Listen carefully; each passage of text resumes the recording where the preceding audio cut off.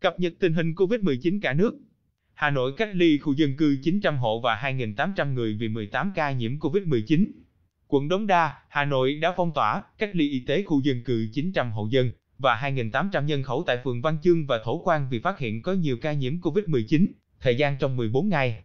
Ngày 5 tháng 8, lực lượng chức năng đã phong tỏa nhiều khu vực nhà dân, ngõ, hẻm thuộc phường Văn Chương và Thổ Quang, quận Đống Đa.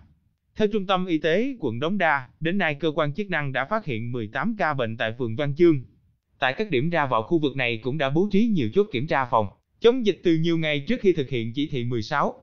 Theo báo cáo của CDC Hà Nội, trong sáng 5 tháng 8, Hà Nội có thêm 26 ca mắc mới COVID-19, trong đó có 19 ca tại cộng đồng, có những người là nhân viên giao hàng, bán hàng, bảo vệ tòa nhà. Tính từ ngày 27 tháng 4, Hà Nội ghi nhận 1.488 ca COVID-19, trong đó số mắc ghi nhận ngoài cộng đồng 893 ca, số mắc là đối tượng đã được cách ly 595 ca. Kênh sẽ cập nhật đến các bạn khi có thông báo mới.